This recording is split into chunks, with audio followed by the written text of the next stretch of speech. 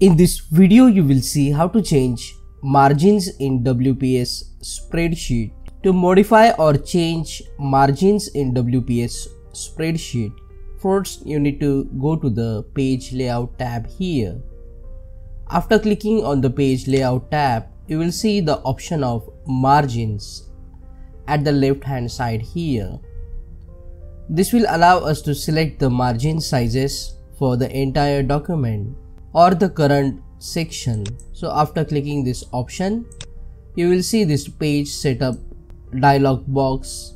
Under the margins, you will see here top, left, bottom and right margins. You can see the unit here. For me, it is in inches. So if you want to change the margin, you just have to click inside this box and enter the number. For example, we will enter here 1 in each box to get 1 inch margin. And if you want to change the margin of footer and header, you can change that as well.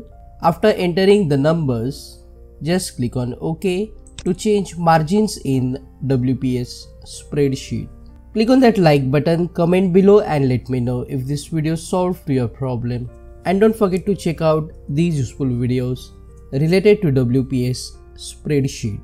See you again in the next one.